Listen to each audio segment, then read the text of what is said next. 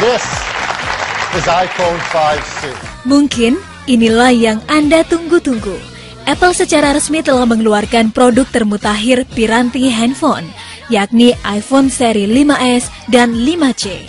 Kedua jenis iPhone ini dikenalkan pada pasar Amerika Selasa 10 September 2013 waktu setempat.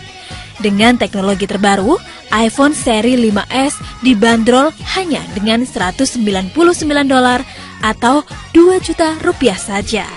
iPhone 5S hadir dengan kilau warna mutiara. Gebrakan terbaru lainnya, iPhone seri 5C hadir dengan warna-warna ceria, biru, kuning, merah muda, dan hijau.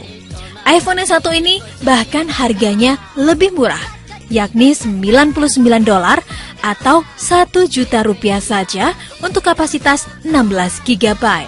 Tapi sayang, kedua iPhone dengan harga super murah ini dipasarkan dengan kontrak selama 2 tahun di Amerika.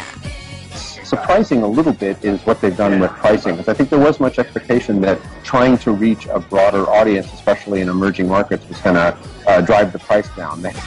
IPhone terbaru ini mengusung teknologi termutakhir dengan sistem pengamanan sidik jari.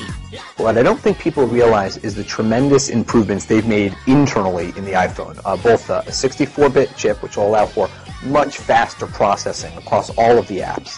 But then even more importantly, what Apple announced that hadn't been talked about before was the fact that they're now including a uh, coprocessor, an M7 coprocessor, that's just going to be dedicated and focused to people's um, movements. Tertarik? iPhone ini sudah dapat diperoleh di pasaran Amerika dan Cina mulai 20 September mendatang.